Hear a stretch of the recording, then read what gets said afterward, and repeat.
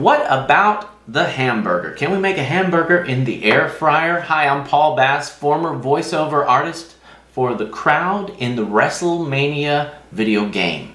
And I'm here to show you that air frying can be fun. For 365 days, we have been challenged to create something new. And today it is the hamburger. And it's just so simple, obviously. Don't even really have to show you, but I like to put the Creole seasoning. It has the perfect blend of the garlic and the cayenne pepper. And just preheated this up and just simply plop it in there, put it in there, be careful, don't let yourself get burned, and put it in there. 350, we'll see how long it takes and we'll let you know and we'll be right back once it's done. Thank you so much.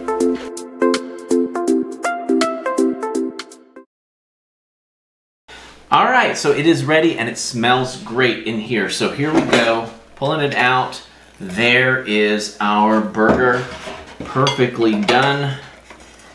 And just put it on there and a little bit of Havarti cheese on top will make it the best. Thank you so much for watching. If you like this video, I appreciate it. If you would like and subscribe and watch us every day, 365 days.